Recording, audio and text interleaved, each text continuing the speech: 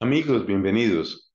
Esta es la entrega número 24 del itinerario de la mente hacia Dios, una obra escrita en el siglo XIII por San Buenaventura, obispo y doctor de la Iglesia, séptimo sucesor de San Francisco en el gobierno de los que nosotros llamamos franciscanos, pero que oficialmente se llama la Orden de Frailes Menores.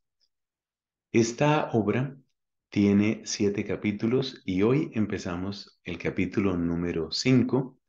Nos vamos poco a poco acercando a la conclusión. Capítulo número cinco y vamos a leer hoy los numerales primero y segundo. El esquema general de la obra es encontrar a Dios afuera de nosotros, o sea, en el mundo, el mundo creado, encontrar a Dios en nosotros, es decir, en nuestras potencias, en lo que nosotros podemos como seres humanos, y encontrar a Dios más allá de nosotros. Ese es el esquema. Fuera de nosotros, o sea, en la creación en general, lo que llamamos las huellas o vestigios de Dios. En nosotros, particularmente en las potencias del alma, lo que tenemos por creación, y en la reforma de esas potencias, es decir, en lo que ha hecho la gracia divina en nosotros, ¿no? La obra de la redención testificada en la escritura. Esa es como la segunda parte. Y ahora, a partir del capítulo quinto, pues entonces se va a hablar de más allá de nosotros. Una vez más lo repito, fuera de nosotros, en nosotros y más allá de nosotros. Ese es el esquema de esta obra. Entramos pues a la parte del más allá de nosotros, que es la parte que corresponde propiamente a la teología y a la mística, teología y mística. Entonces, em, pues, ¿qué es lo que vamos a encontrar aquí? Vamos a tratar de hablar sobre Dios y quién es Dios en sí mismo y qué es lo que hace Dios. Y cuando nos preguntamos por quién es Dios en sí mismo, pues obviamente vamos a hablar del ser. Dios es el que es. Y cuando hablamos de lo que hace Dios, pues vamos a hablar de su bondad, del bien que está en él.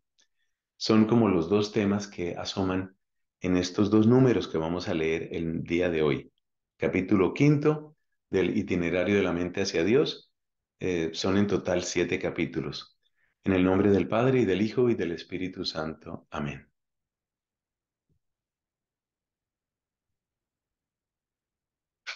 Y porque acontece contemplar a Dios no solo fuera y dentro de nosotros, sino también sobre nosotros, fuera por su vestigio, dentro por su imagen y sobre por la luz impresa en nuestra mente, luz que es la luz de la verdad eterna, pues nuestra mente de una manera inmediata es informada por esa verdad.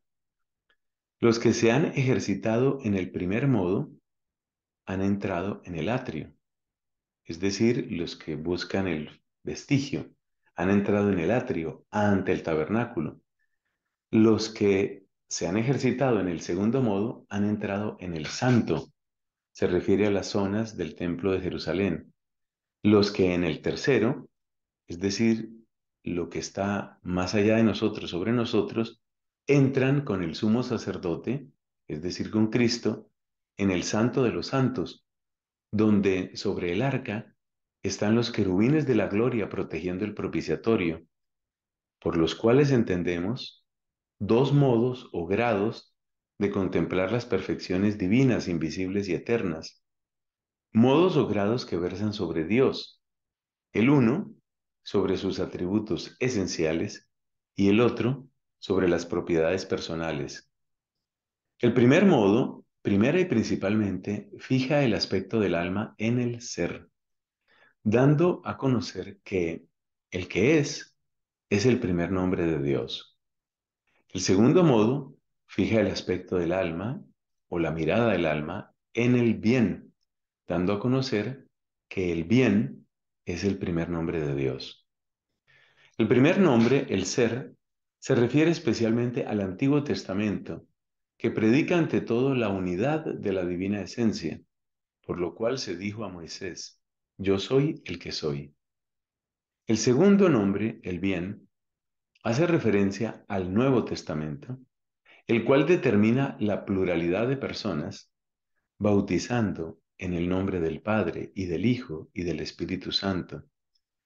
Por eso, nuestro Maestro Cristo, queriendo elevar a la perfección evangélica al joven observador de la ley, de modo principal y preciso atribuye a Dios el nombre de bondad. Nadie es bueno, dijo, sino solo Dios. Razón por la que el Damasceno, o sea, San Juan Damasceno, siguiendo a Moisés dice ser el que es el nombre primario de Dios, mientras Dionisio, o sea, el pseudo Dionisio, siguiendo a Cristo, asegura que el nombre divino primario es el bien. Observemos entonces que estamos entrando como en la última fase, la última zona de, esta obra del itinerario de la mente hacia Dios. Eh, hemos buscado a Dios como vestigio en las cosas creadas. Hemos buscado a Dios como presencia en nosotros mismos, en las potencias del alma y en la obra de la gracia en nosotros. Y ahora buscamos lo que es Dios en Él, lo que es Dios en sí mismo. Y aparecen estos dos términos que de alguna manera cada uno es como el primer nombre de Dios. Dios es el que es y Dios es el sumo bien. Seguimos pues en este avance y gracias por estar aquí. Que Dios nos bendiga. Nombre del Padre, del Hijo, del Espíritu Santo. Amén.